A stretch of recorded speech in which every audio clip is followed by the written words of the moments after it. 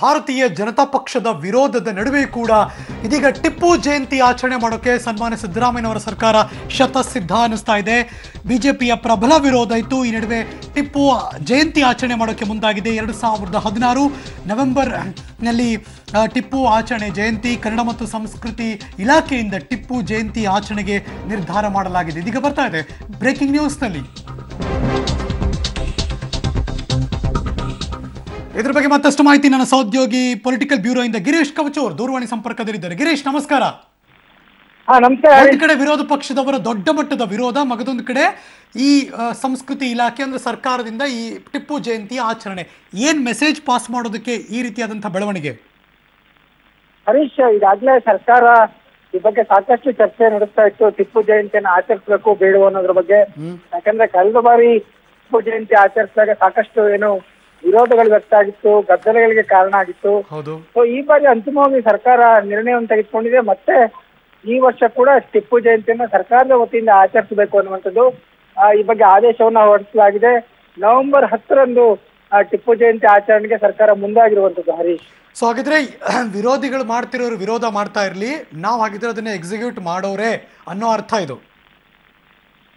ಖಂಡಿತ ಹರೀಶ್ ಈಗಾಗಲೇ ಸರ್ಕಾರವಾಗಿ ಒಂದು ನಿರ್ಣಯವನ್ನ ತೆಗೆದುಕೊಂಡಾಗ ಅದಕ್ಕೆ ಸಹಜವಾಗಿ ಪ್ರತಿಪಕ್ಷಗಳು ಯಾವ ರೀತಿ ವಿರೋಧವನ್ನು ವ್ಯಕ್ತಪಡಿಸ್ತವೆ ನಾವು ನೋಡ್ಬೇಕು. ಆದ್ರೆ ಸರ್ಕಾರಕ್ಕೆ ಎಲ್ಲಾ ರೀತಿಯ ಅಧಿಕಾರ ಇದೆ, ಈ ಬಗ್ಗೆ ನಿರ್ಣಯವನ್ನ ತೆಗೆದು ಒಂದ್ ಕಡೆ ಗಿರೀಶ್ ಕೌಚೂರ್ ಇತ್ತೀಚಿನ ಬೆಳವಣಿಗೆ ನೋಡ್ತಾ ಇದ್ರೆ, ಇದು ನಮ್ಗೆ ಅನಿಸ್ತಿರೋದು ಸ್ಟೀಲ್ ಬ್ರಿಡ್ಜ್ ವಿಚಾರ ಕೂಡ ಈಗ ದೊಡ್ಡ ಮಟ್ಟದಲ್ಲಿ ಪ್ರಸ್ತಾಪ ಆಗ್ತಾ ಇದೆ ಅಲ್ಲೂ ಕೂಡ ದೊಡ್ಡ ಮಟ್ಟದ ವಿರೋಧ ಬಟ್ ಸ್ಟಿಲ್ ಸರ್ಕಾರ ಅದನ್ನ ಮಾಡೇ ತಿರ್ತೀವಿ ಅನ್ನೋ ಶತಸಿದ್ಧ. ಮಗದೊಂದು ಕಡೆ ಈ ತರ ಉತ್ಸವಗಳು. ಅಂದ್ರೆ ಒಂದ್ ರೀತಿ ವಿರೋಧ ಪಕ್ಷದವರಿಗೆ ನಾವು ನಾವು ವೀಕ್ ಅಲ್ಲ ನಾವು ಸ್ಟ್ರಾಂಗು ನಮ್ಮ ನಿಲುವಿಗೆ ನಾವು ಭದ್ರಾಗಿರ್ತೀವಿ ಏನೇ ಆದ್ರೂ ಎದುರಿಸ್ತೀವಿ ಯಾರೇನೇ ಅಪೋಸ್ ಮಾಡೋದು ಅನ್ನೋ ಮೆಸೇಜ್ ಈ ಮೂಲಕ ಪಾಸ್ ಮಾಡ್ತಿದ್ದಾರಾ ಅಂತ? ಹರೀಶ್ ಈಗ ಸ್ಟೀಲ್ ಬ್ರಿಡ್ಜ್ ವಿಚಾರ ಮತ್ತೆ ಟಿಪ್ಪು ಜಯಂತಿ ವಿಚಾರ ಎರಡು ಬೇರೆ ಬೇರೆ. ನಿಲುವಿನ ಬಗ್ಗೆ. ನಿಲುವಿನ ಬಗ್ಗೆ. ನಿಲುವಿನ ಬಗ್ಗೆ. ನಿಲುವಿನ ಬಗ್ಗೆ ಕೇಳ್ತಿದ್ದೀನಿ ಖಂಡಿತ ಹರೀಶ್ ನಿಲುವಿನ ಬಗ್ಗೆ ಸರ್ಕಾರವಾಗಿ ನಾವು ನಿರ್ಣಯವನ್ನ ತೆಗೆದುಕೊಳ್ತೇವೆ ಅನ್ನೋ ಒಂದು ಮೆಸೇಜ್ ಅನ್ನ ಸರ್ಕಾರ ಕೊಡ್ತಾ ಇದೆ. ಟಿಪ್ಪು ಜಯಂತಿ ವಿಚಾರದಲ್ಲಿ ಒಂದು ಒಂದ್ ವೇಳೆ ಟಿಪ್ಪು ಜಯಂತಿನ ನಿಲ್ಲಿಸಿದ್ರೆ ಅದು ಇನ್ನೊಂದು ಸಮುದಾಯಕ್ಕೆ ಬೇರೆ ಮೆಸೇಜ್ ಹೋಗುತ್ತೆ. ಹೀಗಾಗಿ ಸರ್ಕಾರ ಆ, ಆ ಒಂದು ಸಮುದಾಯದ ಮನವೊಲಿಸುವಂತ ಒಂದು ಪ್ರಯತ್ನವನ್ನು ಕೂಡ ನಡೆಸಬೇಕಾಗುತ್ತೆ. ಆ ಹಿನ್ನೆಲೆಯಲ್ಲಿ ಟಿಪ್ಪು ಜಯಂತಿಯನ್ನು ಮುಂದುವರಿಸಲಿಕ್ಕೆ ಸರ್ಕಾರ ನಿರ್ಧರಿಸಿದೆ. ನವೆಂಬರ್ ಹತ್ತರಂದು ಟಿಪ್ಪು ಜಯಂತಿ ಆಚರಣೆಗೆ ಮುಂದಾಗಿರುವಂತದ್ದು ಆದ್ರೆ ಪ್ರತಿಪಕ್ಷಗಳು ಇದನ್ನ ಯಾವ ರೀತಿ ಸ್ವೀಕರಿಸ್ತವೆ? ಈ ಹಿಂದೆ ಆದಂತ ಗದ್ದಲ ಗಲಾಟೆಗಳು ಮತ್ತೆ ಆಗುತ್ತಾ ಅನ್ನುವಂತ ಒಂದು ಪ್ರಶ್ನೆಗಳು ಎದುರಾಗುತ್ತೆ. ಅದಕ್ಕೆ ಸರ್ಕಾರ ಯಾವೆಲ್ಲ ಕ್ರಮಗಳನ್ನ ಕೈಗೊಳ್ಳುತ್ತೆ ಅನ್ನೋದನ್ನ ನಾವು ನೋಡ್ಬೇಕು. Right thank you so much Girish Kachu. ನಿಮ್ಮ ಎಲ್ಲ ಮಾಹಿತಿಗಾಗಿ ನವೆಂಬರ್ ಹನ್ನೊಂದನೇ ತಾರೀಕು ಟಿಪ್ಪು ಜಯಂತಿಗೆ ದಿನಾಂಕವನ್ನು ನಿರ್ಧಾರ ಮಾಡಲಾಗಿದೆ.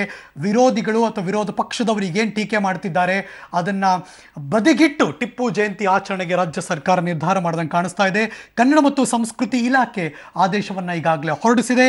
ಇದೇ ನವೆಂಬರ್ ಹನ್ನೊಂದನೇ ತಾರೀಕು ಎರಡು ಸಾವಿರದ ಹದಿನಾರು ಟಿಪ್ಪು ಜಯಂತಿಯ ಆಚರಣೆ ಮಾಡೋದಕ್ಕೆ ಸರ್ಕಾರ ಶತಸಿದ್ಧ ಅಂತ ಒಂದು ಮೆಸೇಜನ್ನು ಪಾಸ್ ಮಾಡಿದೆ.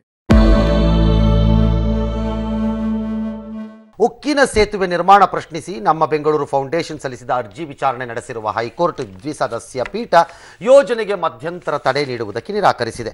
ಅಲ್ಲದೆ ಯೋಜನೆ ಮುಂದುವರಿಸುವಂತೆ ಸರ್ಕಾರಕ್ಕೆ ಮೌಖಿಕ ಸೂಚನೆ ಕೊಟ್ಟಿದೆ. ಇನ್ನು ವಾಹನ ಸವಾರರು ಈ ಸುದ್ದಿಯನ್ನ ಮಿಸ್ ಮಾಡಿಕೊಳ್ಳದೆ ನೋಡಿ ಯಾಕೆಂತಂದ್ರೆ ಪೆಟ್ರೋಲ್ ಮತ್ತು ಡೀಸೆಲ್ ಪರದಾಟ ಸದ್ಯದಲ್ಲೇ ಶುರುವಾಗ್ತಾ ಇರ್ತಕ್ಕಂಥ ಸ್ಟೋರಿ ಇದು.